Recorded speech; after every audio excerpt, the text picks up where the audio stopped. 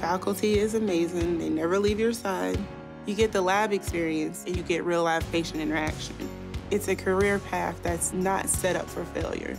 Life before ECPI was kind of hopeless. Now I do have peace of mind, be able to provide for my kids. Everything you do, you do it for your kids. And you realize in a short period of time, you can turn your life around.